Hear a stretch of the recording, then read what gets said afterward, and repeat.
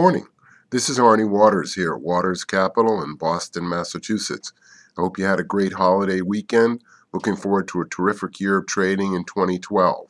Our key focus right now is on gold. We see gold being in a difficult place for the next two or three weeks until things settle out, and the amount of gold buying in East India from the January holiday can be perceived.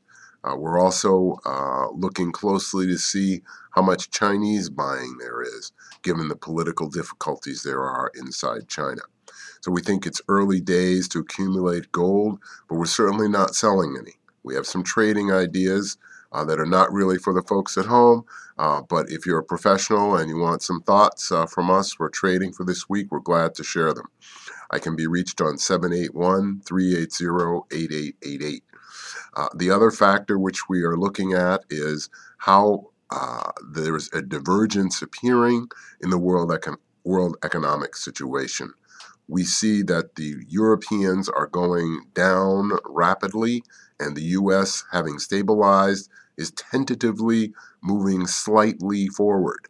There will be some plus US GDP this year. I'm not sure unemployment's going to go down.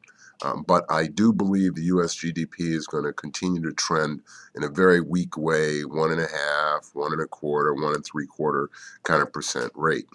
We also expect that the presidential election will preclude any major economic undertakings that will address the uh, unemployment situation, the public works situation in the United States. Uh, we remain optimistic that Barack Obama will get a second term. Uh, we find that the uh, difficulties the Republicans have uh, selecting between a Mormon and a Catholic are quite sad and reflective of the bigotry which characterizes a great deal of the Republican Party. Oddly enough, it was the Republicans, of course, under Abraham Lincoln, who uh, led the cessation and abolition of slavery. Quite interesting how things change over 100 plus years. This is Arnie Waters. I'm encouraging you to aim for the ice floes, not the open water. Don't sell any gold, uh, but it's not quite the time to load up as yet. We have a very optimistic view. We're looking for uh, the gold to rise seven or eight hundred dollars over the course of this year.